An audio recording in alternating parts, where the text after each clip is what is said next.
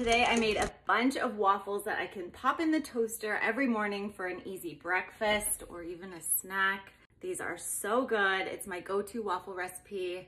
Let's make them. I do love Eggo waffles, but making my own waffles at home is a little bit more cost effective. Plus, I know exactly what's going into these waffles, like cinnamon and a little bit of vanilla. This waffle recipe is so tasty. I like to make a couple batches a month, store them in my freezer so my girls can have toaster waffles whenever they want. This little waffle maker is a gem. It pumps out so many little tiny, perfect toaster sized waffles and I like to store them in my freezer in a stasher bag, label it with the date. They're good up for at least a month if they even last that long. You have to try these. This is such a good hack, especially during school, but we're in summer, which means it's a perfect summer hack. So give it a try and uh, yeah, make your own toaster waffles.